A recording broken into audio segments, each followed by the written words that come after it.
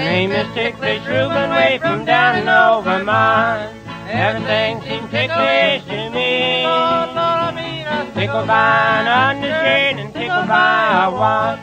Tickled by a yellow bumblebee. I'm always being tickled by someone around this house. I could read in her eye.